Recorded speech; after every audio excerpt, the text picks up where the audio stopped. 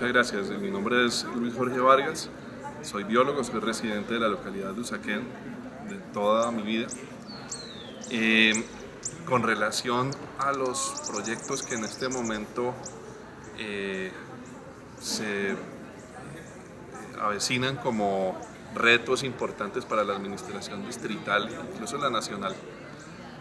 en temas ambientales de Bogotá, yo creo que hay que destacar que eh, finalmente hubo un ah, fallo desde el Consejo de Estado con relación a cerros orientales. Ese fallo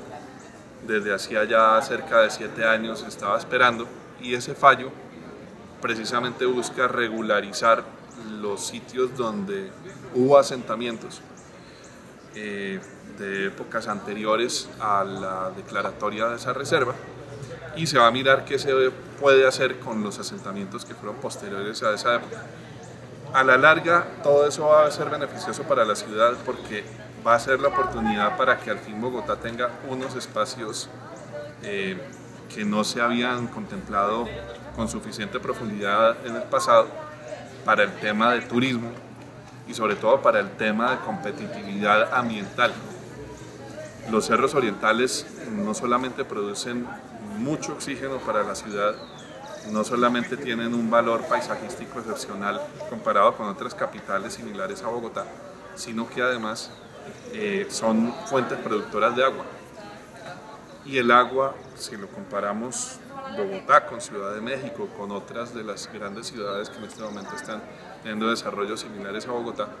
el agua es fundamental porque es transversal a todos los procesos productivos, industriales, de servicios, entonces, ese es el futuro, digamos, la llave de seguro que tiene la ciudad frente al cambio climático. Si se protegen no solamente las aguas superficiales, sino sobre todo las subterráneas, que muy poquito se ha estudiado en su conjunto, eso nos va a dar las pautas para mirar cómo se debe desarrollar sobre todo el borde norte de la localidad de Usaquén y Suba, enfocados en eso. El futuro de la ciudad está eh, basado en